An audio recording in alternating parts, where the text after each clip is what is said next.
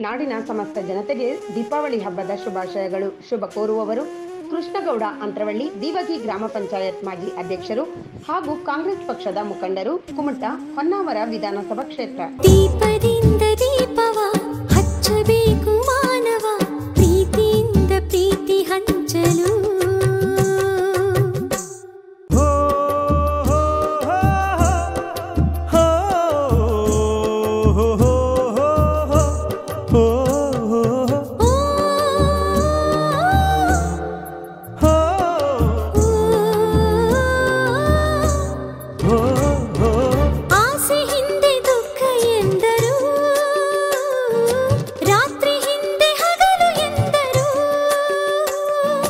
ದ್ವೇಷವೆಂದು ಹೊರೆ ಎಂದರು. ಹಬ್ಬವದಕ್ಕೆ ಹೆಗಲು ಎಂದರು. ಎರಡು ಮುಖದ ನಮ್ಮ ಜನುಮದ ತೆಗೆದು ಹಾಲ್ ಬೆಳಕ ಕುಡಿಯುವುದೇ ದೀಪ